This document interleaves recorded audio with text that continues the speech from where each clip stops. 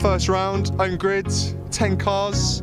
Uh, we've got two Z3s, two 2.2s, and six 3 litres. Uh, really excited. Yeah, slightly excited, a bit nervous. Obviously, a race is a bit different to a track day, um, but no, look forward to it and see what, see how we go on. Brilliant. Some door-to-door racing with Jamie. He's just an absolute lunatic. He has his car sideways more than he does straight, but I think we all know that. I think it's brilliant that we've got you know good good amount of cars out for the first round. Uh, I think obviously Ed's going to be one to look out for with the experience he's got at the front, but there's going to be close battles all the way through. I think from the Z3s into the 2.2s and then obviously the 3 litre Z4s at the front. So it should be good.